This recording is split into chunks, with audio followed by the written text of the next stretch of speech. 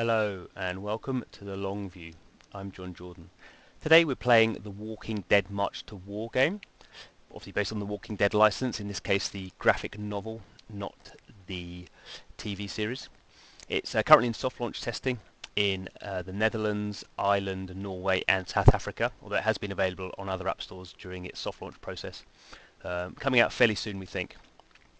And it is a kind of 4x game, but I'm calling it a 4x plus game. So let's go in um, and see uh, why we think it's a 4x kind of plus game. A little bit different to games like Game of War. So what we're looking at now is the kind of the main environment screen. So we can see my base there in green. Uh, not at the moment because it's just been covered up.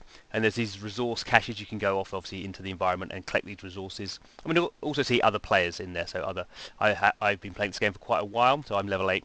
Um, other people are lower levels, and then they have these walkers. So obviously um, these these zombies where you can go and attack them.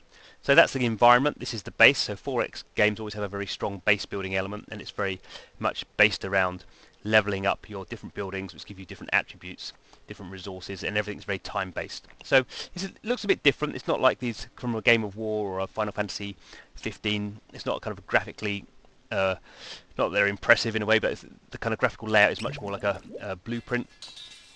Just see here I'm going through um, a resource collection process. I'm just collecting um, salvage and food. Um, so other elements as well, council chambers, headquarters. Now, this is kind of the important bit. This is where the game is, I think, is 4x plus. So this is based around survivors. So you have actually two sorts of characters in this game. 4x games tend not to have a lot of characterization in them at all in terms of the gameplay. Um, they tend to be much more based around you you built you train units and armies, and they're very kind of throwaway. This game, and particularly the developer Disruptor Beam, has a lot of history of making narrative-based games. So it's done a Star Trek game, for example. It's worked with a lot of IP. So these kind of uh, survivors, um, they are kind of disposable and kind of not disposable. So you can see I'm healing some of them. So there's Naomi. she's got no health at all. So you can see she's critically wounded. Um, they all went off and did a battle, um, and a whole bunch of them got wounded. Um, and this game actually has permadeath. So if you don't um, heal them in time, uh, they will die. That's not terrible because they're generic characters, um, but they are a resource. So you spent a lot of time. So Raoul, Raoul is level 14. I've leveled him up. Um, I spent time and resources doing that. I don't really want him to die. So um, there is this kind of nice element where you want to keep these guys alive. Obviously a nice retention element because it keeps coming back into the game to heal them. Um, and obviously there's training as well. So you can see there um, Greta is um, a kind of newer character I've got. Only level 5 so I need to train her up. And because early in the game, um, I can do that for free. I just keep training them up. So this is kind of one, one of the key things that this game does differently. has a much bigger focus because of plotline. excuse me, on these survivors. So these are all my survivors. We can see all different levels as I've leveled them up. There's things that I haven't unlocked yet because I've, although I've been playing the game for a, a month or so, um, obviously much further to go in these games.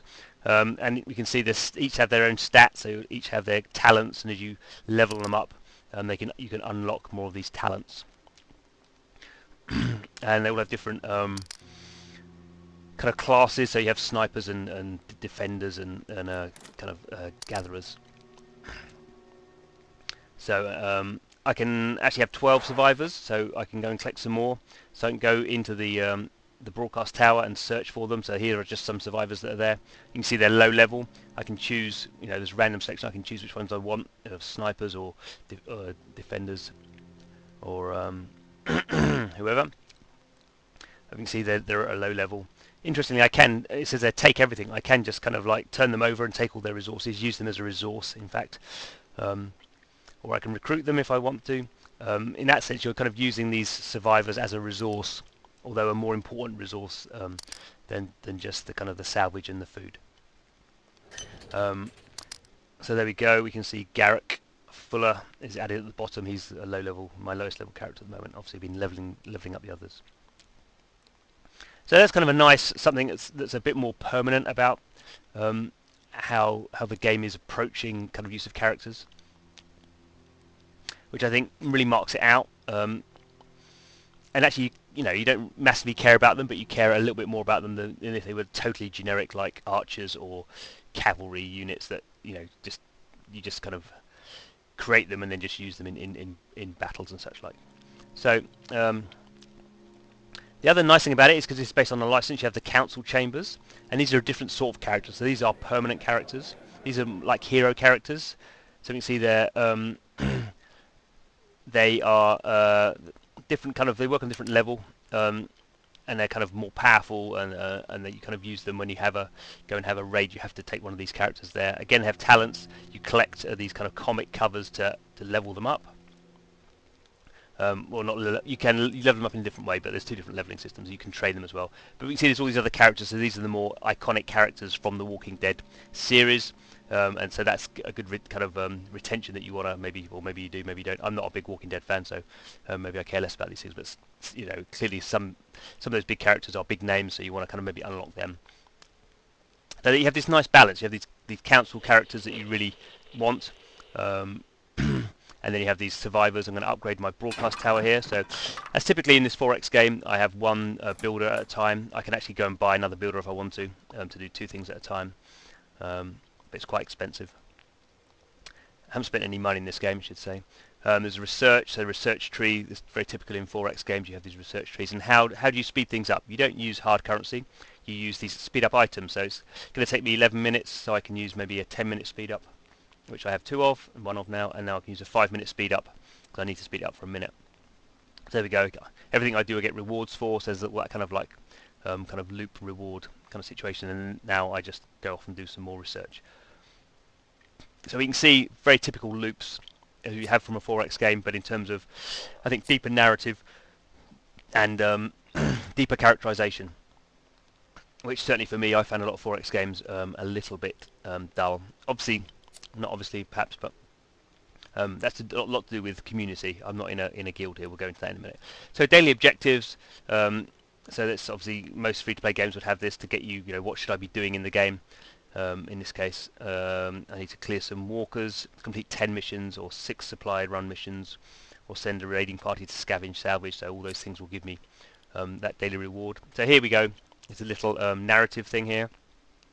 Some of these are quite lightweight, it's kind of hard to know exactly, you basically have two choices.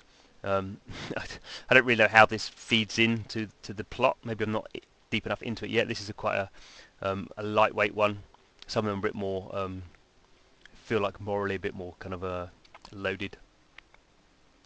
Um, but anyway, we do that and we claim our reward. And then we have these, so that's a little upgrade research annex to level 6. So that's not like a daily mission, that's just that you always have one of these kind of kind of um, kind of priority missions, I guess. Something always telling you what to be doing. Um, I can't do that at the moment because I'm, I'm, I'm using uh, I'm uh, researching something. So back to the environment environment map. Let's quickly show you how to do um, go and scavenge something. So I send a raid. I get to choose one of my council uh, members. I don't have many survivors because they're all training or being healed. But anyway, um, that's what I've got. So I select those uh, to go and get that uh, to go and salvage. Get that salvage. You can see a little green arrow there.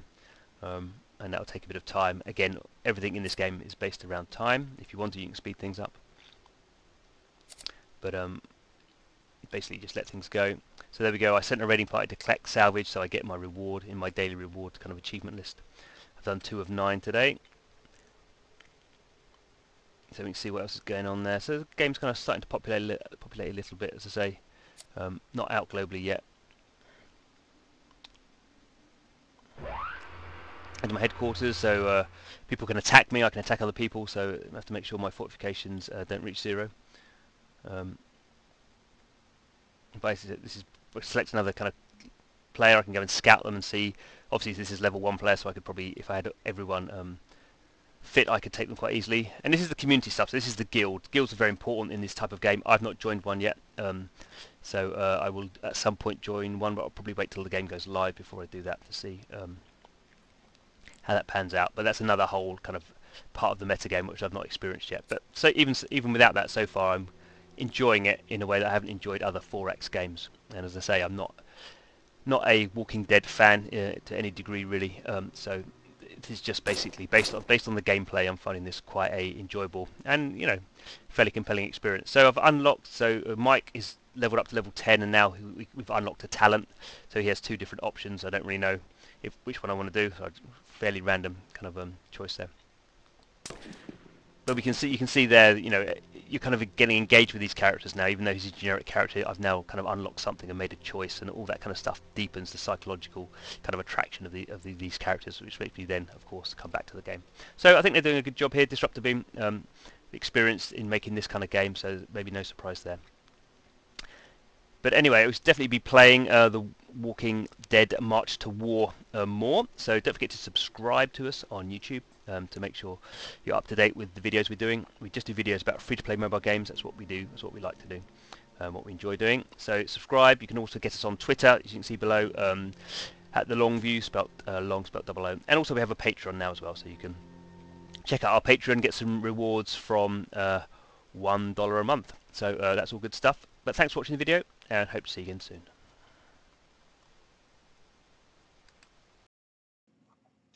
Hello, and thanks for watching to the very end of the video. If you have any comments, please put them in the comments box. We love to read your comments. And if you haven't subscribed already, the subscribe button is below. And don't forget to check out some of our other videos. There's two really good examples on the screen right now.